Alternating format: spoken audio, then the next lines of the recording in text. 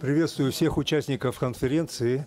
Моя фамилия Лейман. Зовут меня Артур. Я приехал Тихо, из тихо, тихо, Германии. тихо, Родился я сам в Казахстане. тихо, тихо, тихо. И Артур, подожди. более 23 Господа, лет проживаю Тихо. в Германии. господа, В 2006 году я побывал в горах Тибета и два года позже открыл э, нечто, что навело меня на мысль. На нашей планете все зашифровано абсолютно, и все физические, математические законы, которые раньше существовали, они потихонечку будут ослабевать по отношению к тому, насколько велик Бог, Создатель, который сделал нашу планету. В общем-то, вчера я уже имел возможность полчаса выступить, поэтому начну с середины своего выступления, именно с египетских пирамид. Э. Обратите внимание на эту полосу. Для того, чтобы ее сделать, для того, чтобы сделать, нужно сделать э, как минимум от одного угла до другого натянуть шнур и 20-30 сантиметров сделать завал. Понимаете, люди, если они произошли от обезьян, не могли такого сделать. И теория Чарльза Дарвина, она, в принципе, ну, он был масон, сын масона, и в свою очередь его отец был э, сыном масона, дире- директора масонской ложи. Поэтому масоны специально все запутали для того, чтобы увести человечество от правды.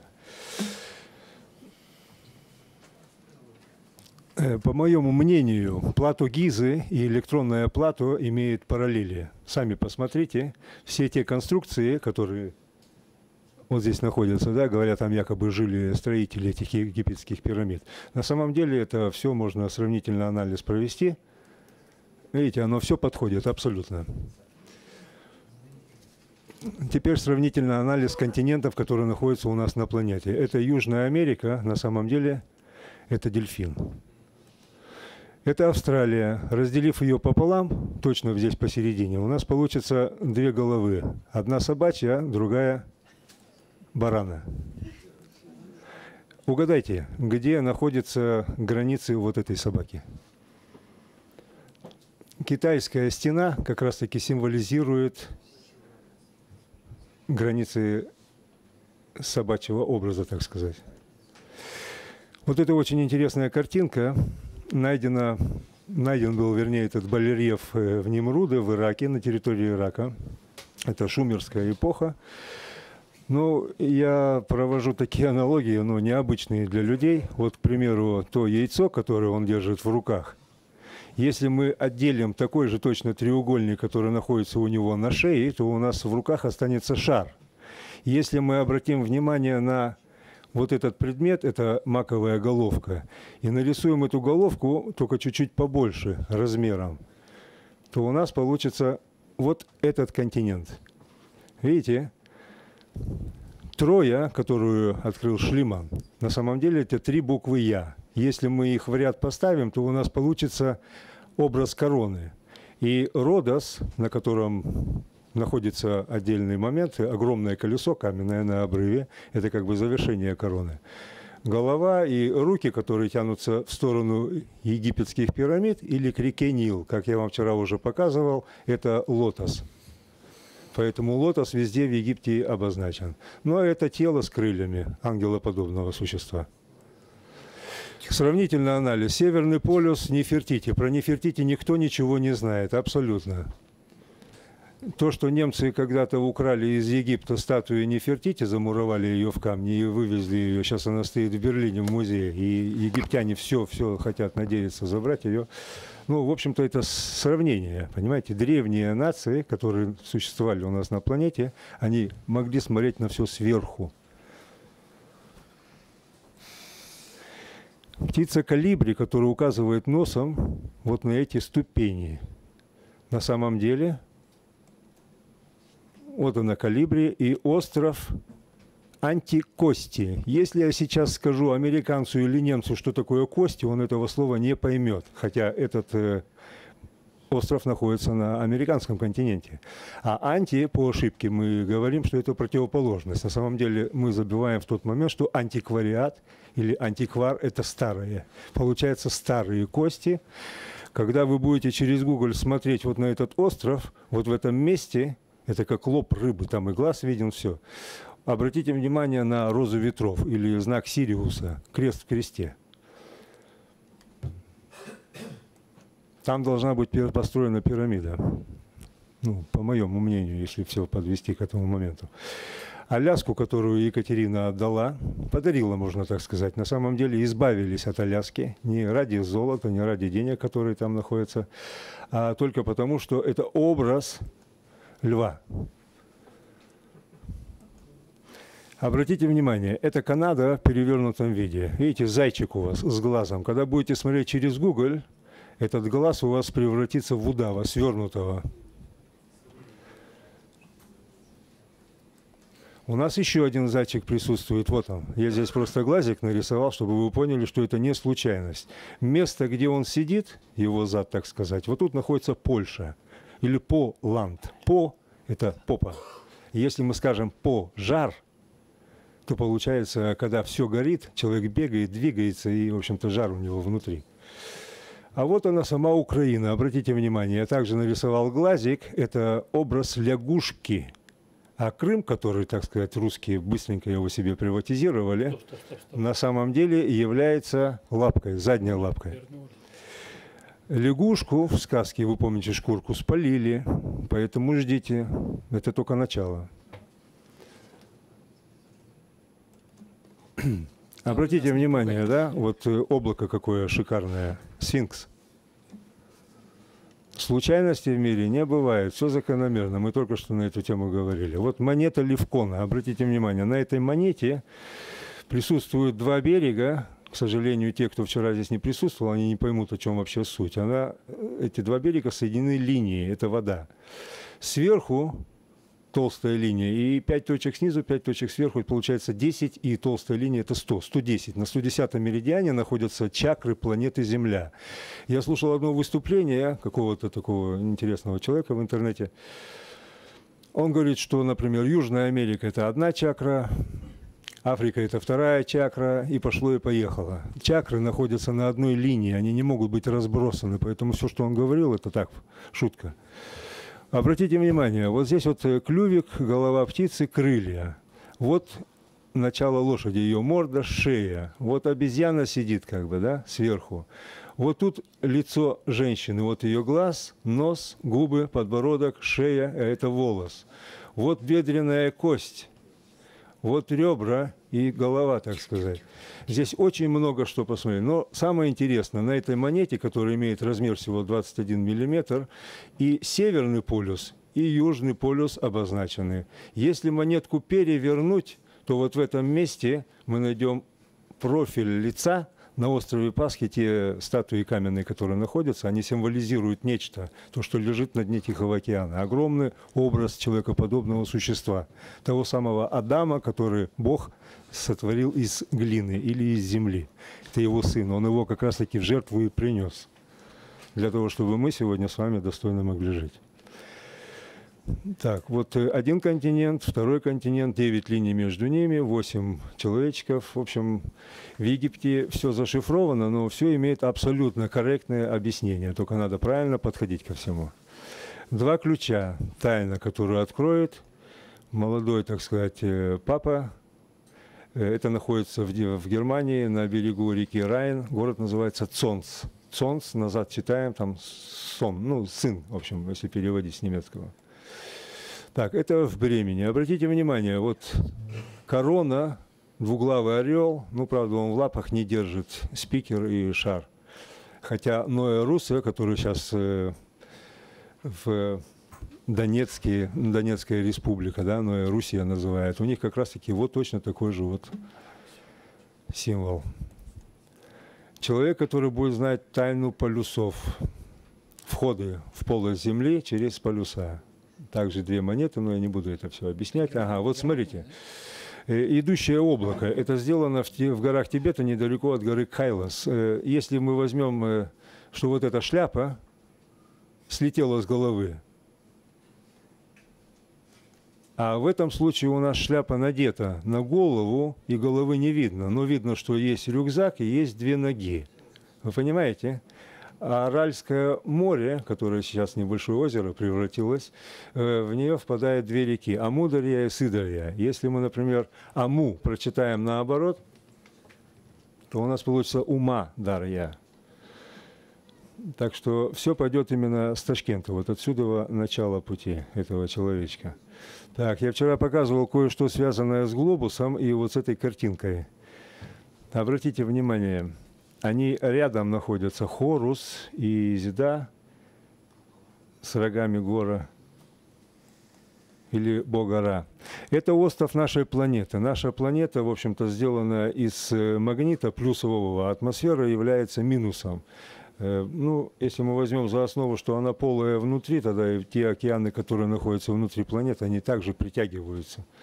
И люди, которые там живут, также притягиваются к полости.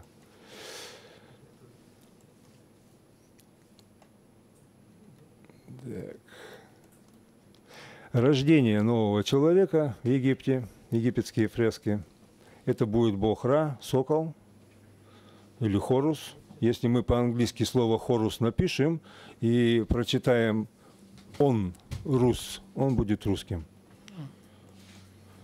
Он будет э, на ладье возглавлять, так сказать, он будет богом Ра, богом Солнца, а вот этот тот человек, который будет с рогами на голове, будет ему сопутствовать, так сказать, они будут в одной лодке плыть.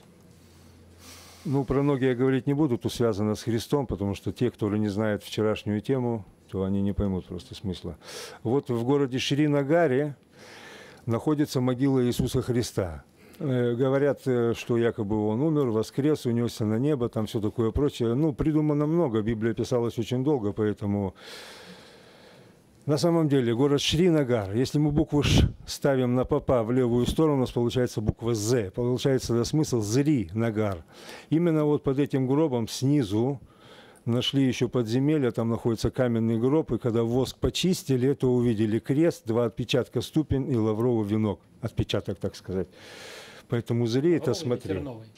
Ну, терновый, лавровый, лавровый Нет, именно. Лавровый. Терновый – это терновый путь человечества. Две тысячи лет люди идут и натыкаются на те же самые грабли или иголки. Терновый – это одно, а лавровый – это объединение каждый лис, объединяет каждую нацию, каждую расу в единое целое идущий по облакам. В Библии было написано, когда этот момент придет, тогда и будут истинные знания даны. Лицо Бога. Случайностей нету, запомните это. Вот картинка. Значит, вот эта река, это река Тара, Омская область, Окуневский ковчег так называемый. В книге Речкина Михаила говорится о озере Шайтан. Якобы оно более 30 метров, имеет там два дна, и на дне находился храм Ханумана. Если мы слово «хан», «ума» прочитаем правильно, то мы поймем смысл. Обратите внимание, Шайтан у нас находится, вот он. Это местность. Это трава, дорожки и все. Смотрите, вот глаза, нос и его губы, вот даже рожки есть. А если мы посмотрим еще вот посередине, здесь я потом сделаю, вот сюда перенесу этот снимок, тогда вы убедитесь, в чем смысл. Тара. В Ирландии тоже есть местность, которая называется Тара. Обратите внимание, круг с глазами, с ртом, прямая линия, чакры так находятся у нас на планете. Вот и плечи есть, это знак омега. Вот она, омега. Завершение по Иисусу, на самом деле альфа и омега, это имеет совсем другой смысл на маске Тутатхамона, Тут Анх Ам Он – это четыре разных слова. Тут – это делать по-немецки, Анх – это священный крест, Ам – это женщина, Он – это мужчина. Когда мы накладываем одно на другое, то появляется любовь или делание жизни. Именно на этом месте на маске находился венок из цветов полевых. А цветок – это символ венка, который находится на гробницы, так сказать, где я говорил, в городе Шринагаре. Момент настанет. Если вы знаете, был такой человек, он и сейчас, наверное, есть, Сваровский, очень знаменитые, подделки каменные, но очень красивые, не такие дорогие. Так вот это музей. Обратите внимание, омега снова. И изо рта, из внутреннего мора, который в момент отлива и прилива вода уходит в поло земли и выходит наружу, как раз-таки вот оно и здесь обозначается все. Когда я зашел вовнутрь, первое, что увидел с левой стороны, это черный саркофаг Тутанхамона в таких звездочках. Тутанхамон вообще-то, что бы ему там делать. Ну и вообще, кто побывает в музее, дай бог, вы очень много интересного найдете, связанное с нашей планетой. Еще раз вернемся к этой картинке. Смотрите, вот, вот он, образ человека. Переносим его сюда. Сверху у нас находится вот как бы волос, а здесь как бы рука, антенна указывает опять же на зайчика. Видите, вот ушки, голова и все такое. Это все местность, как это все было сделано, и почему именно растет в одном месте, или не растет трава в другом месте, это может объяснить только сам Господь Бог. Находясь э, в 2011 году, в 2011 году там со своей палаткой я стоял, вот видите, здесь находится река, это река Тара. Тут находится вышка, это деревня спит еще, это Окунева. Сорока прилетела, разбудила своим криком. Вышел, посмотрел, Будда сидит в небе. Вот, в увеличенном виде. Еще раз, случайностей не бывает. Значит, они ведут конкретно и дают понять, что-то нужно сделать. Город Женева. Жен Ева, женщина Ева. На немецком языке Генев, ген Евы. Ева, мы знаем, была женою Адама. Второй. Смотрите внимательно. Озеро Леман. Лем – это глина, ман – это мужчина. Птица, жар птица, вот она летит. Зайчик, только смотрите, остов деревьев, верхушки перевернуты. На самом деле картинка должна быть перевернута, тогда будет правильно. Гортопский глобус, зайчик, белый, э, белый голубь – это значит знак Христа. Рыба также знак Христа. С Гортопским глобусом очень много связано. Петр I, став масоном, очень много получил знаний и привез Гортопский глобус э, в Россию для того, чтобы он стоял сегодня именно здесь, в Санкт-Петербурге. Окно в Европу, именно отсюда все начинается. Обратите внимание, вот Господь Бог, у него два лица. Он снял шкуру дьявола, потому что инь-янь – это черное и белое, в общем-то, взаимозаменяющее. Змей, тянущийся к короне – серб – это русский, так сказать, образ русского человека. Смотрите внимательно, вот здесь это. Перевернутый знак.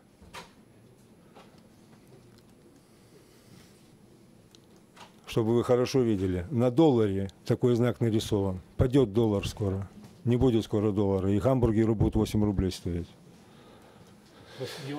А еще так лучше будет, да. Так, уточка с яичком. Это реально все. Мы помним сказку, что у нас есть дракон, у него есть яйцо, там есть игла. Все реально, я вам сейчас покажу. Вот она уточка. Вернемся опять в Египет. Сокол э, с хвостом змеи, так сказать, э, вот эти извилины, я их насчитал 101. Последние несколько метров просто разрушены, должно быть 110. 110 меридиан имеется в виду. Так вот, э, здесь спереди вот этого сокола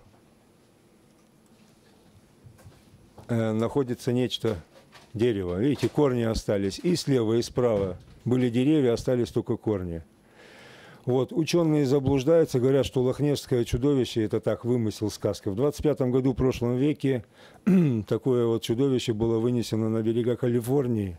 Если мы возьмем за основу, извините, что каждый человек занимает площадь, скажем, там 50 квадратных сантиметров, их здесь 6-7 человек, вот 3 метра уже здесь есть, Значит, 3 метра у нас здесь. Вот еще чуть-чуть. И здесь чуть-чуть. Ну, метров 6-7 точно шея. Голова, в общем-то, массивная. И туловище. Если меньше 12-13 метров это чудовище есть, то... А написано просто, что это кит. Глупость полная. А видите, сколько моряки видели этих чудовищ? Везде, абсолютно, по всему миру они есть. Они выплывают и ныряют, в принципе, назад в свой мир, в антимир, в котором они находятся. Дерево тоже у нас присутствует, видите? Дуб зеленый. А там хрустальный гроб. И Россия, как раз-таки спящая красавица, скоро проснется. Только еще нам не хватает принца, который все это провернет. Смотрите внимательно. Вот э, Перу, да? Помните, там картинки Наска есть всевозможные? Обратите внимание, сегодня вот он, самолет как бы вылетает, вот он, фюзеляж, все, абсолютно все дублируется. Люди такого сделать не могли, мы не от обезьян произошли. Чарльз Дарвин, дар, вин, дар вина – это алкоголь. Человек пьяный превращается в обезьяну. Это так.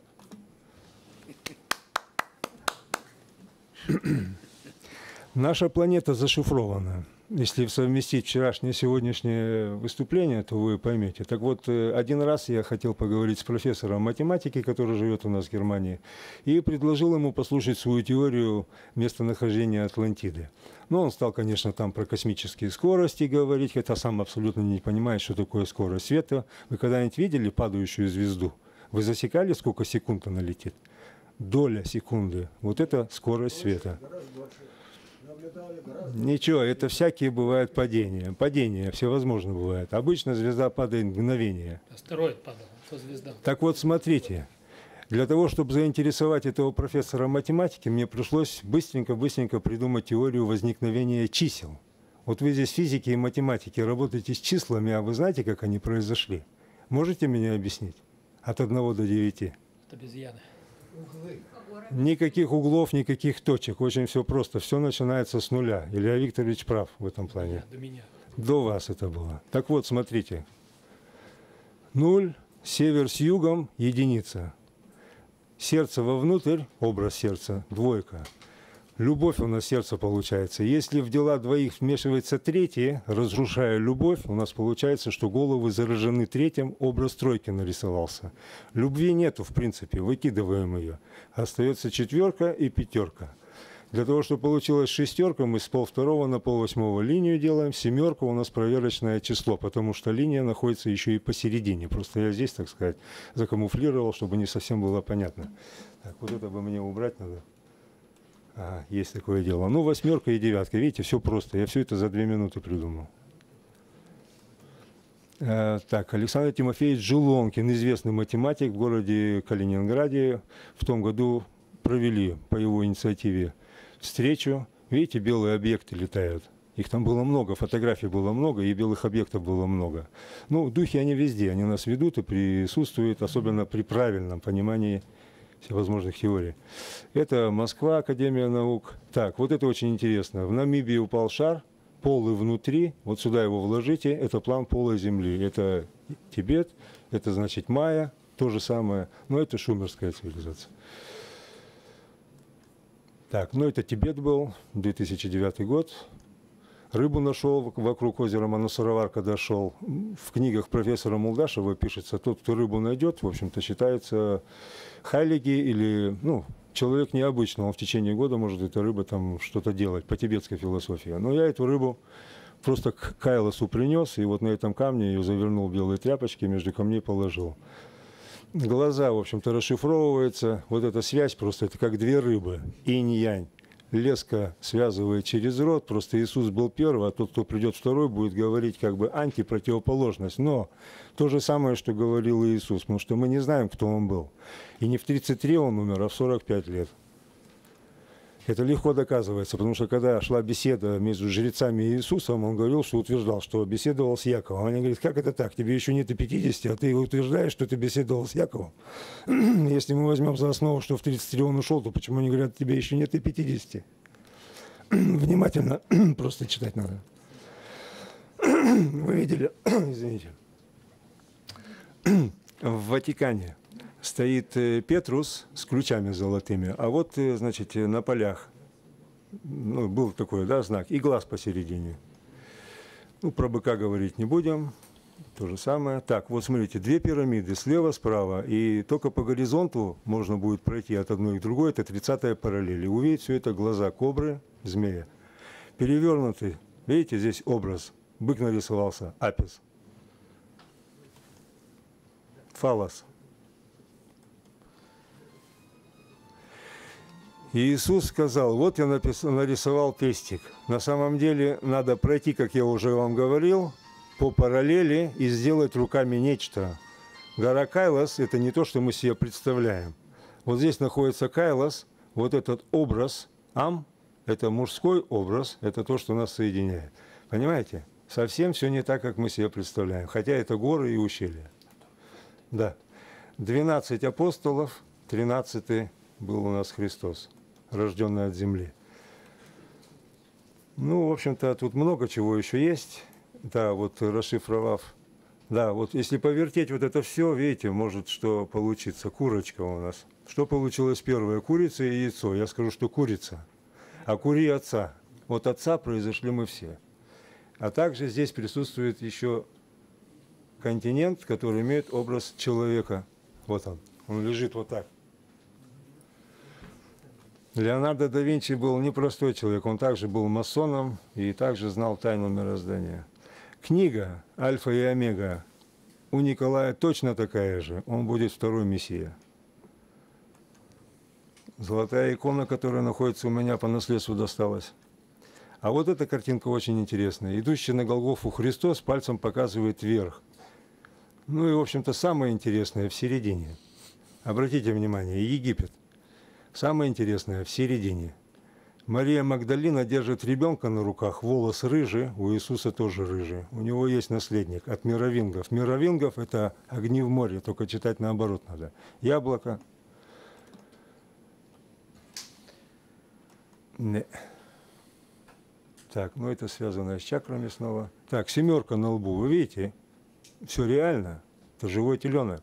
Семерка на дне Тихого океана. Там находится фалос планеты, седьмая чакра. Мальта, кит. Валета – это валь, это кит. Это русское совмещать просто надо. Ага, вот это самая интересная фотография. Именно в этот момент, когда будет править Владимир Владимирович Путин, все и случится. Я, конечно, много говорить могу, показывать, но, к сожалению, времени нету, извините. Так, и для того, чтобы некоторые не восприняли, что здесь что-то кто-то перепутал, значит, я просто приведу э, трактат, он называется «Кори Космо». Это один из известных трактатов, который, на котором базируется как бы герметическое учение, которое превозносит Гермеса Трисмегиста как или Тота египетского. Значит, там рассказывается о том, как был устроен мир, и э, Исида говорит сыну своему гору относительно э, значит, э, Господа Бога. И говорит следующее. Он привел мир, мир к порядку и красоте, придав ей Э, душевное движение и установил знаки звериных очертаний подле знаков очертаний человеческих. Он наделил их творческой силой и духом искусства. Значит, вот эти строчки служат основанием для тех людей, ну, знающих, которые ищут э, очертания, э, э, звериных очертаний человеческими в виде э, так называемых геоглифов. Э, так называемая каменная книга Тота, одно из вариантов прочтения. Поэтому есть и такие интересы у людей, и э, мир многограден. И я просто прошу относиться к этому э, с вот соответствующим пониманием.